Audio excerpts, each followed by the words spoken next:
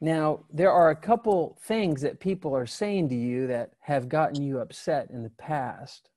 You told me in our first call, but can you tell me again? What are some of the words or some of the things that they do to you?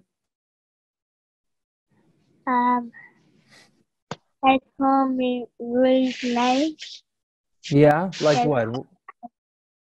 like the M word. Sometimes they swear at me, and um, sometimes they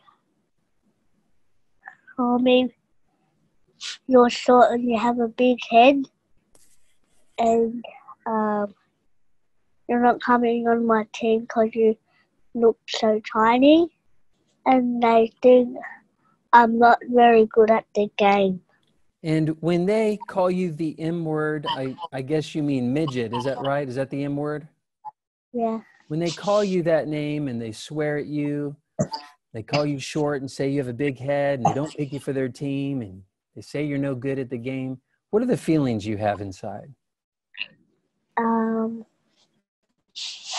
they make me angry. They also make me sad and get upset.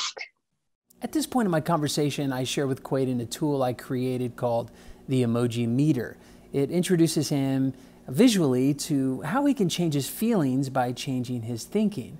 You know, he told me he's angry and sad when people tease him, and that tells me that he has built up expectations for himself that are not being met. And so my goal is to help rid himself of those demands and even those desires. Ultimately, to become indifferent to the teasing, and better yet, to look forward to being teased like comedians do when they are roasted. I'm going to show you a little kind of a picture of what, what, what this might look like. Mad is on the left, sad is with the one with tears, meh is kind of like whatever, I don't care. And then glad is with the thumbs up. Do you see those pictures? Yeah. And so when they call you a midget or they swear at you or they make fun of your height, you said, are you in the red, the orange, the yellow, the or the green? The red. Ooh. Well, can I tell you why you're that way? Do you see his fists?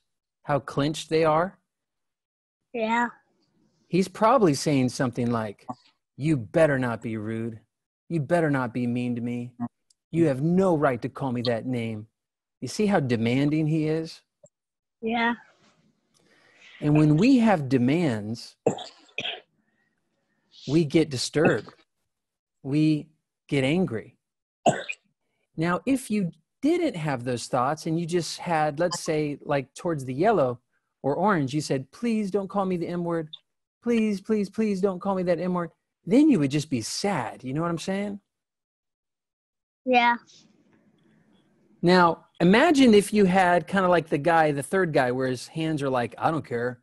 You see that guy? what do you think he's saying? I don't care. You can just call me that name, whatever. That's right. And now he's not going to be mad. He's not going to be sad. He's just going to be kind of whatever. He's not going to be affected. What do you think the guy in the green is thinking? Happy? That's right. Have you ever heard anyone call themselves a name or make fun of themselves? Um, I think so. Yeah. Now, do you know Brad Williams? Yeah. Now, I notice that he makes fun of his height quite a bit. Have you ever seen him make jokes about himself? Yeah. What would you do if you found out your child was a little bit different? He wasn't gonna be like all the other kids. What would you do? How would you react if you knew for a fact your son was guaranteed to be bullied when he got to school?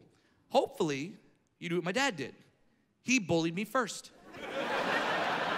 but he did in a very awesome way. He would make fun of me and he would tell me, like, all right, hit me back. Hit me back with something. That's what you're gonna do. Some kid's gonna come up to you. He's gonna make fun of you. What are you gonna do? You gonna cry about it? No, not my son. So he molded me. He trained me.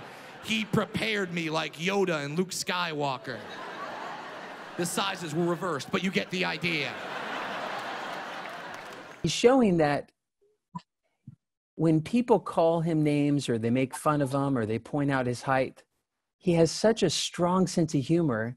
he can take a joke about himself and he could even make a joke about himself. But if he had this thought, if he thought, you better not make fun of me, you better not, he wouldn't be able to be laughing about himself. If he thought, please, please, please don't make fun of me, then he'd be crying all the time when people make fun of himself. But he has made a career out of not only letting people make jokes about him, but joking about himself. And that shows a sign of incredible emotional strength. And that's the goal. At this point, I'm challenging Quaden to give up his demands and, and his desires. And I'm really getting to the heart of his issue. You know, he may not realize this, but I'm actually chipping away at his deepest held irrational demands and his desperate desire to be tall. I know that if I can help him reach unconditional self acceptance, embracing who he is and how he is, then he will be cured from his insecurities about having dwarfism.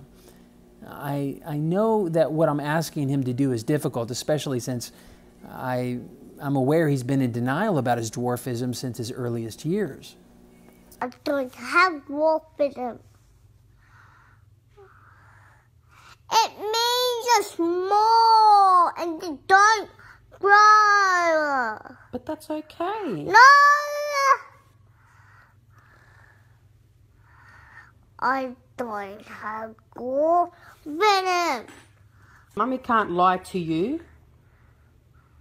That's not fair. If I say, okay, then you don't have dwarfism. You do have dwarfism, and that's deadly. No!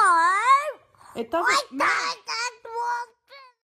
You know, in my communication with Yer- Yarraka, Quaden's mom, she admits that most likely Quaden inherited his denial from her uh, during the early years of Quaden's life. Well, I think that was part my fault because I was in denial for the first two years. I didn't accept it. Um, I didn't, anyone that spoke about it or said those words. So he took on my um, attitude about it unknowingly. So it's like it was ingrained in him.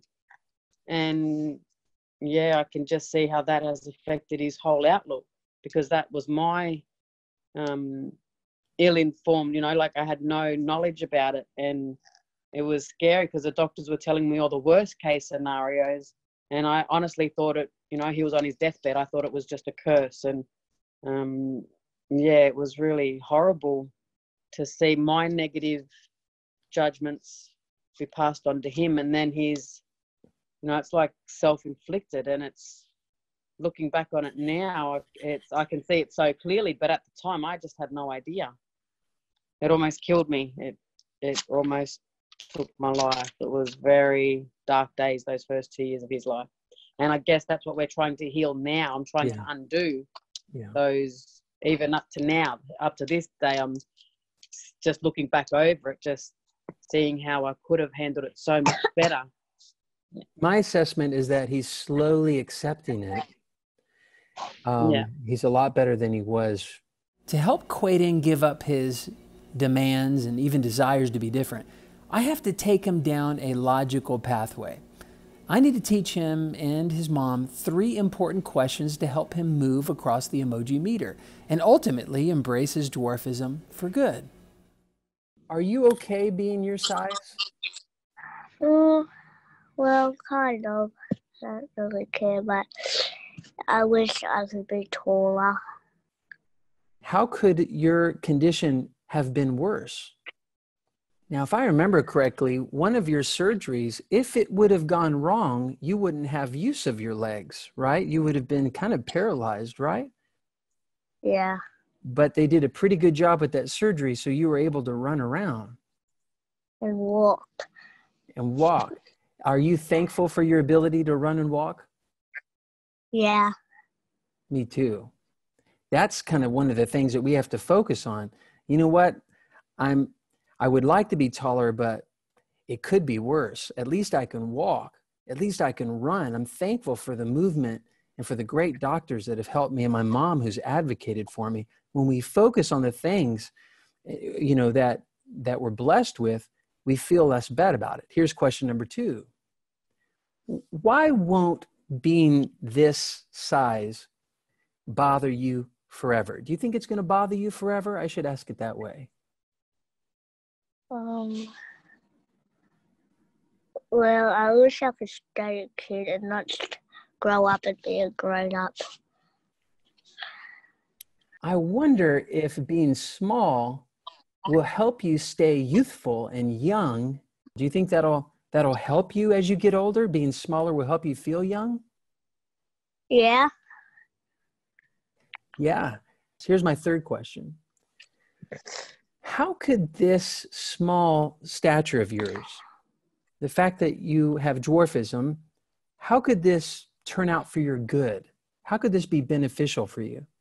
Well, the good thing is that I can like still run around and play sports and dress myself, turn on the shower, and wash my body and do my hair.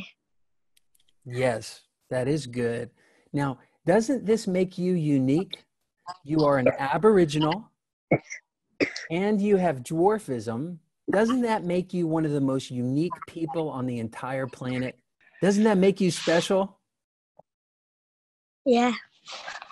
At this point, Quaden is genuinely convinced that there are benefits to his small stature. You can see it in his eyes. He has a genuine belief that he is special and that his life has purpose, just the way it is. Now, his mother will need to continue to walk him down this pathway of logic daily. His disability could have been worse. That's the first one. It's not going to bother him in the future. That's the second one. And it will actually turn out for his good. That's the third pattern of logic. Now, the more fluent he becomes with that pattern, the quicker he will be able to talk himself off the ledge of irrationality. And also, reinforcing the stages of emotion will be critical for him to take control of that thinking, feeling connection. Let's go back to that diagram real quick. The diagram in the red, it says, You better not call me the M word. Well, he's going to be angry when people do. The one with tears says, Please don't call me the M word. Well, he's going to be sad when they do. The other person says, I don't care if you call me the M word. He's not going to care at all. But the other guy says, I hope you call me the N word, man. You can call me the N word if you want. It just reminds me of my purpose and my uniqueness in life. I'm thankful for who I am. I'm thankful for where I come from. You know, Quaden, I think one day soon you are going to view your life as a gift.